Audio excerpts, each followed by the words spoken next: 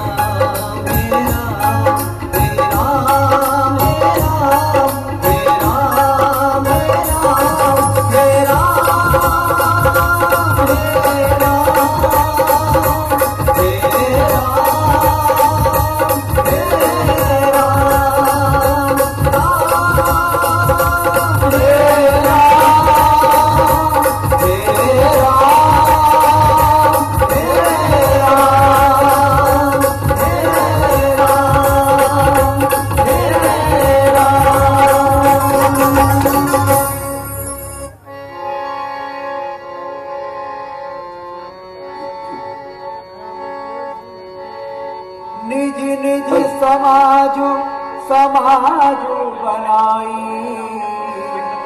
गुहु गाँव तही जोहारे जाई। देख सुभट सब लायक जाने। ले ले नाम सकल मनीषा दीख निषाद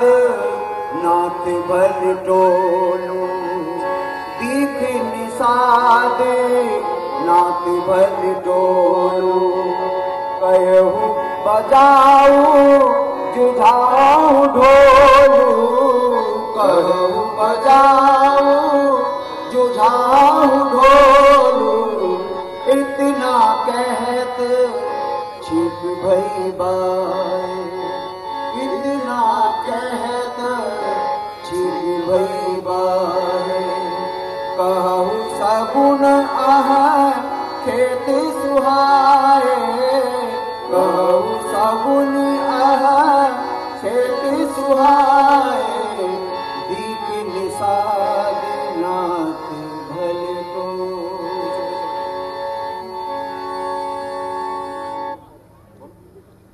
महाराज महाराज भरत जी सेना लेकर वन में आ रहे हैं। मैं समझता हूँ कि उनके मन में अवश्य ही कोई घोट है। तुम चिंता ना करो मुझे पूरा विश्वास है। कि श्री राम को जीतने वाला अभी तक कोई पैदा नहीं हुआ। तुम सब सावधान हो जाओ। सब घाटों को रोक दो। मैं भरत से लोहा लूँगा। जीते जी उन्हें गंगा पार कभी नहीं करने दूँगा। मेरे सेवकों, लड़ाई का ढोसा बजाओ और भरत से युद्ध करने के लिए तैयार हो जाओ। परंतु मेरा शगुन ये कह रहा है कि भरत जी से लड़ाई नहीं होगी, मेरे विचार से भरत जी श्री राम से मिलने आ रहे हैं। साथियों, ये ठीक कह रहे हैं, क्योंकि जल्दी से कार्य करने वाले मूर्ख लोग हमेशा पछताते हैं। अतः भरत जी की परीक्षा लिए बिना उनसे युद्ध करना अनुचित है, इसलिए मैं पहले भरत जी से मिलूँगा।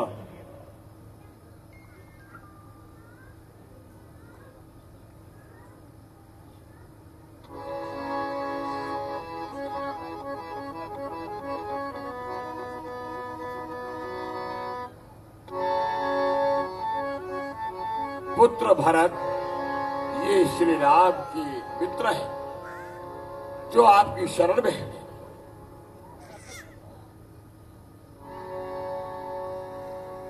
हे निषाद जी आप धन्य हैं जो आपने प्रभु के दर्शन किए हैं। हे निषाद राज जी आप मुझे बताइए प्रभु ने आपके पास कैसे निवास किया? हे भरत जी प्रभु राम माता जानकी और लक्ष्मण सहित श्रृंगवेरपुर पधारे। परंतु उन्हें इन्होंने नगर में प्रवेश नहीं किया। यही पत्थर की शिलाओं पर घास के बिछोने पर विश्राम किया और यहीं से जटा बनाकर गंगा पार चले गए।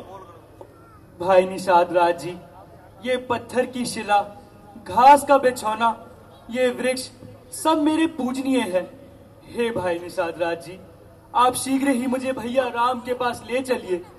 आइए आइए चलिए महाराज चलिए।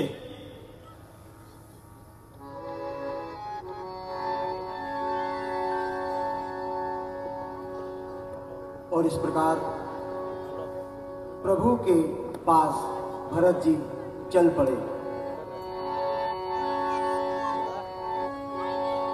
उधर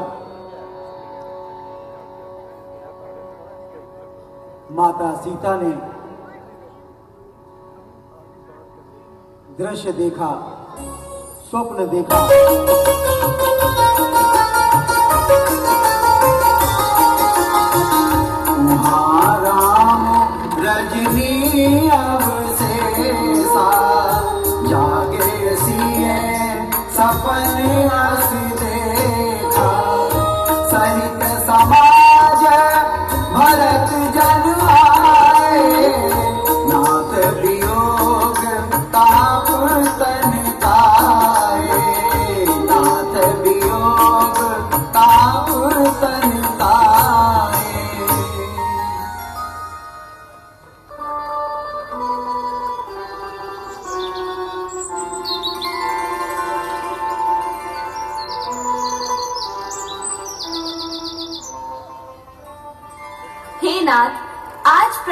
काल ही मैंने स्वप्न देखा कि भरत जी सब समाज सहित यहाँ आए हैं। हे प्रभु हे प्रभु, भरत जी चतुरंगिनी सेना सहित यहाँ पधार रहे हैं। बिन पूछे कछु कहूँ गोसाई, सेवक समय न ढीठ ढिठाई। तुम सर्वज्ञ शिरोमणि स्वामी, आपन समझ कहो अनुगामी स्वामी, आपके बिना पूछे ही मैं कुछ कहता हूँ। सेवक समय पर डिठाई करने से ढीठ नहीं समझा जाता। हे स्वामी, आप सर्वज्ञों में शिरोमणि हैं। मैं सेवक अपने समझ की बात कहता हूँ। हे भाई हे भाई, शीघ्र आज्ञा दो। भाई को अब समझूँगा मैं। अन्याय न्याय पर चढ़ता है। ये कैसे होने दूँगा मैं? हे नाथ रोकते रहे सदा, पर आज रोकना नहीं मुझे। सौगंध आपको है मेरी। उस समय टोकना नहीं मुझे। यदि पुत्र सुमित्रा का हूँ मैं तो उसका गर्व मिटा दूँगा। श्री राम दुहाई पृथ्वी पर क्षण भर में उसे सुला दूँगा। हे लक्ष्मण भरत जैसा भाई नहीं ब्रह्मा विष्णु का पद पाकर भी भरत को मद नहीं हो सकता। भाई कैसा भाई। भाई तब था जब निर्मल था। है आस्तीन का सांप आज जो कभी भुजाओं का बल था, उससे कुछ बैर नहीं, झगड़ा है उसके बुरे विचारों से। विष वाले दांत तोड़ दे तो कुछ खौफ नहीं फूकारों से। सेवक का तो है धर्म यही नित्य पर रहना सेवा में। स्वामी पर संकट आए तो न्योछावर होना सेवा में। इसलिए हाथ में धनवा है, धनवा पर बाण चढ़ रहा है। शत्रुओं शत्रुओं, सबल जाओ। लक्ष्मण का क्रोध बढ़ रहा है। पृथ्वी हो, चाहे खंड खंड, विंध्याचल तिल तिल हो जाए। तूफ़ान समुद्र से उठकर अंबर से चाहे टकराए। शंकर भी आकर मदद करे तो शंकर की ही साक्षी है। रण में उसको संहारूँगा, जो रघुराई का बैरी है। हो सावधान। लक्ष्मण, मैं तुम्हें रोकता नहीं। पहले तो ऐसा हो भी नहीं सकता कि भरत इतना गिर जाए। यदि मान लो तुम्हारी बात सत्य है तो क्या तुम इतनी बड़ी सेना से लड़ सकोगे? हाँ भैया, लड़ सकता हूँ। अपनी तो तुम कह चुके, अब मेरी सुन लो नाथ। जब तलक भरत था धर्मवान, तब तक हम दबा ना सकते थे। मैं तो क्या, सौ लक्ष्मण भी लड़ने में हरा ना सकते थे। पर आज धर्मी हुआ वही दल बल सारा धर्म का है। इसलिए धर्म का एक बाण उन सब का वध कर सकता है। बस बस समाधान हो गया नाथ अब आज्ञा दो, दिल मचल रहा। अब माने क्षत्रिय का लहू भीतर ही भीतर उबल रहा। या तो यह बाण शत्रुओं का संघार बाण हो जाएगा, या आज दास का सेवा में बलिदान प्राण हो जाएगा। भैया राम भैया राम भैया राम, भरत, भैया राम। भरत भैया प्रभु मुझे अपने हृदय से मत लगाइए। मुझसे बड़ा अपराध हुआ है। मैं बड़ा अधम हूँ। शांत हो जाओ तात। इसमें तुम्हारा कोई दोष नहीं है। यह सब तो भाग्य की विडंबना है।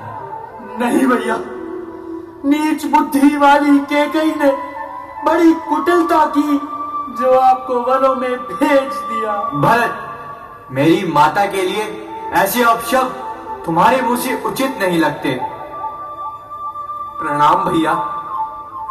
नहीं लक्ष्मण मैं प्रणाम के योग्य नहीं हूँ।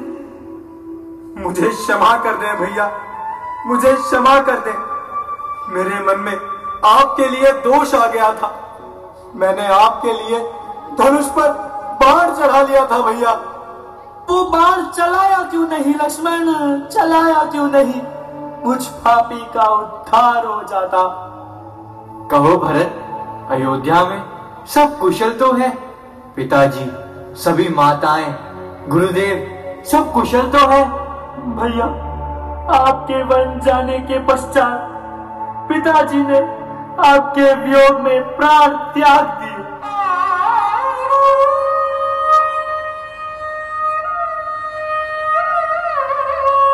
क्या कहा? पिताजी, नहीं रहे हाय भैया, आपसे मिलने के लिए गुरुदेव, सभी माताएँ, आर्य, सुमन और सभी प्रजाजन यहाँ आए हैं। गुरुदेव, प्रणाम।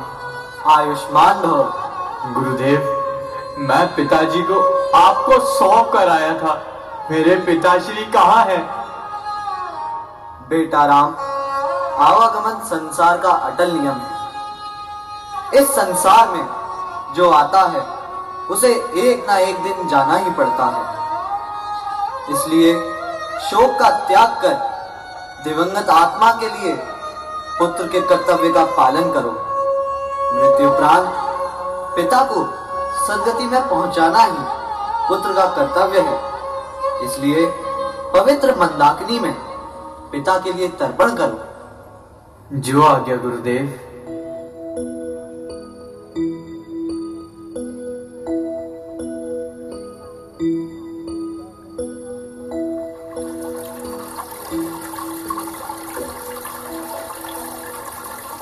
पिताश्री, आप जिस लोक में भी हैं, मेरा प्रणाम स्वीकार करें।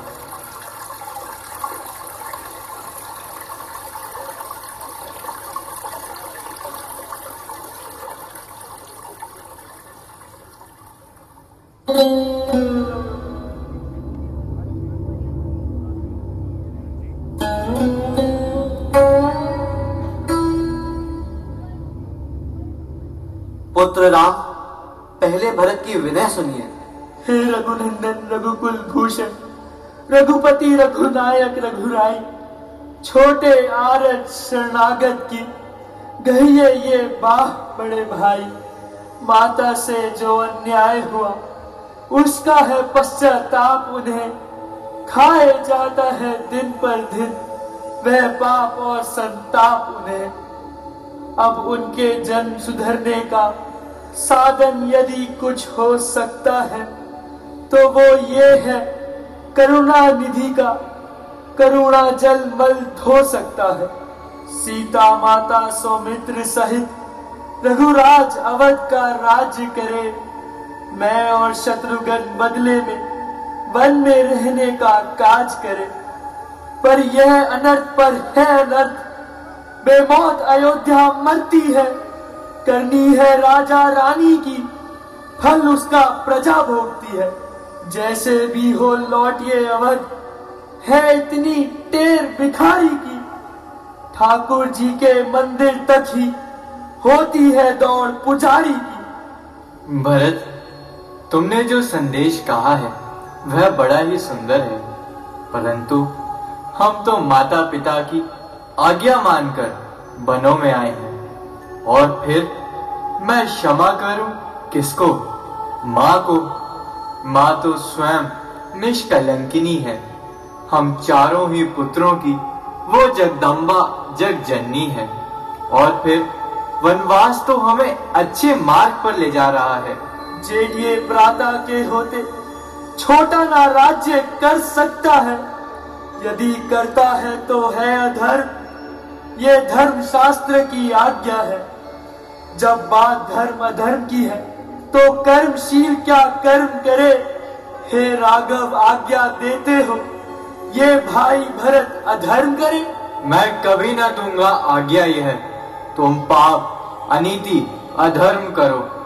उपदेश यही होगा मेरा। सत्कर्म करो, सद्धर्म करो। पिता माता की आज्ञा पालन। बेटे का धर्म कहता है। यदि वे आज्ञा त्यागी जाए तो भी अधर्म हो जाता है।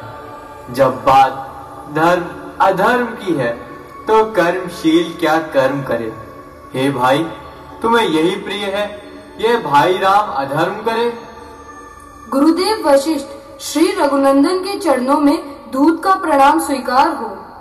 मैं मिथिलेश्वर महाराज जनक जी का सेवक हूँ। महाराज को यहाँ के सारे समाचार ज्ञात हो गए हैं। अब वो महारानी सहित मंदाकिनी के तट पर पहुँच गए हैं। मुझे पूर्व सूचना के लिए आपके पास भेजा है। मिथिलेश्वर आ रहे हैं। यह तो बड़े हर्ष का विषय है। पुत्र राम लक्ष्मण भरत शत्रुघ्न चारों भाई जाइए और महाराज को आदर पूर्वक ले आइए। जो आज्ञा गुरुदेव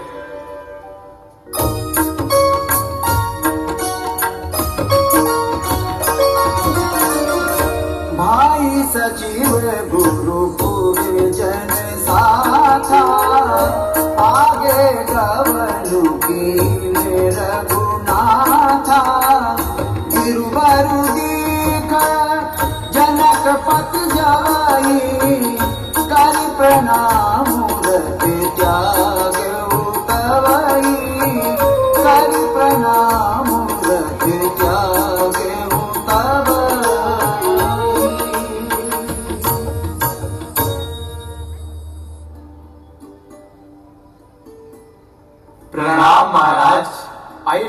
भव पुत्रो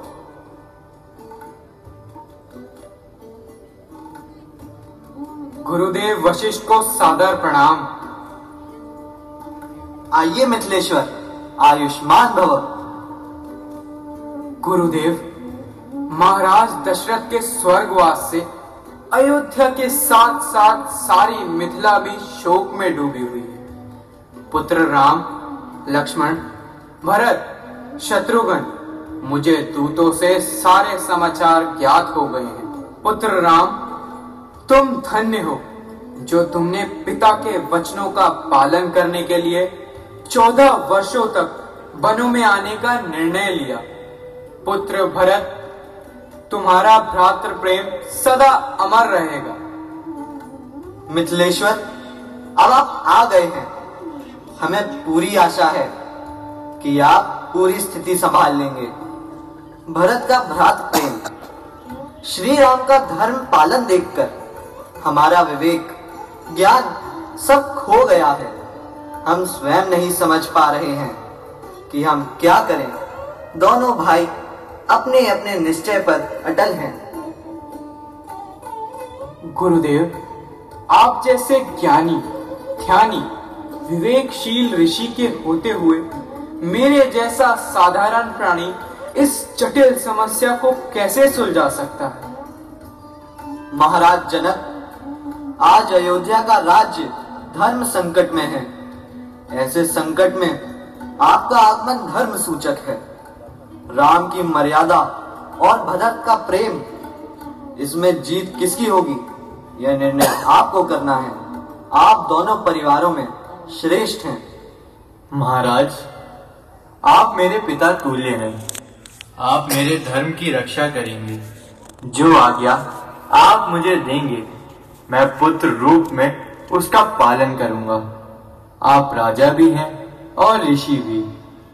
हे धर्मपिता, मैं श्री राम के राज्य अभिषेक की सभी वस्तुएँ अपने साथ लेकर आया हूँ। मेरा इस समय क्या कर्तव्य है? यदि न्याय मेरे पक्ष में है तो श्री राम के राज्य अभिषेक की आज्ञा आप मुझे यही देंगे।